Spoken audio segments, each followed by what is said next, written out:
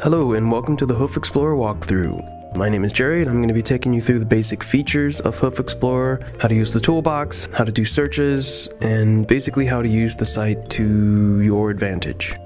So first we're going to look at the toolbar. In the toolbar you can manually control how you view the horse hoof. You can spin it to the left and the right, you can move it up or down, you can zoom in or zoom out, you can move it left or right, you can spin it upwards and downwards, you can mirror it left or right. The mini map helps when you need to change your view but you don't want to move the horse hoof itself. You can quit the application by either pressing the quit button or pressing escape. There is also a master transparency menu in which you can control the transparency of either the entire image or individual parts. The settings menu allows you to adjust the frame rate or speed the anti-aliasing or how smooth the image is, and the imaging effects or how clear the details are. You can also adjust your keyboard and mouse sensitivity and the sensitivity of the toolbox controls.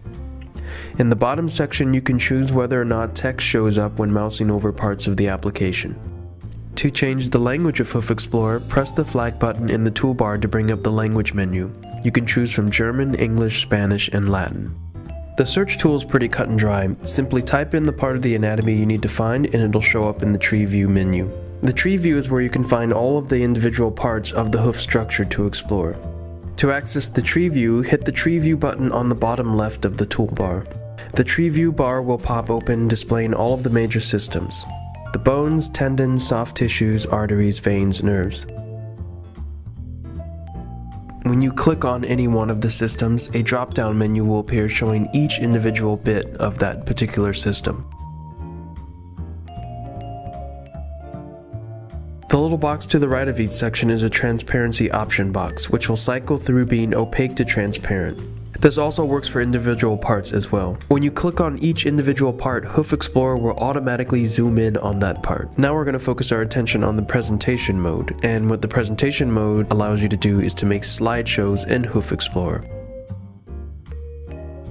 So in order to get in presentation mode, you click the movie film looking button here, which opens up the presentation menu.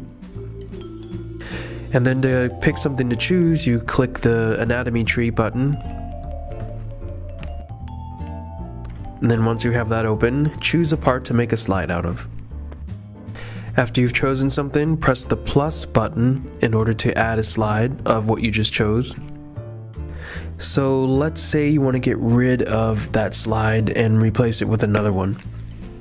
What you do is you would click the little box on the left side until a check mark appears. And by the way, if you want to click all of your slides, click this little button over here which looks like a bunch of gray pieces of paper. And if you want to uncheck all your slides, click the button below it, which looks like a bunch of pieces of white paper.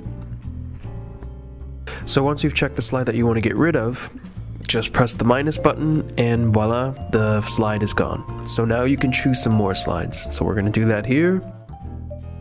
So once you've chosen all your slides, you can press the play button and it'll automatically play through the slides that you have selected. Also, if you would like automatic playback, you can click this button up here and it'll automatically cycle through your slides and will keep going continuously. You can adjust the time each slide shows itself in case it's going too fast or too slow.